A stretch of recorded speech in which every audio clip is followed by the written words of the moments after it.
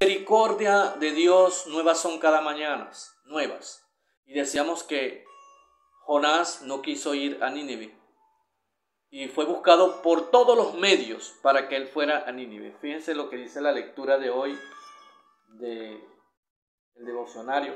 Corriendo por la rambla de Montevideo con amigos, un diagnóstico me hizo una broma por el, por el perdón de Dios, este amigo.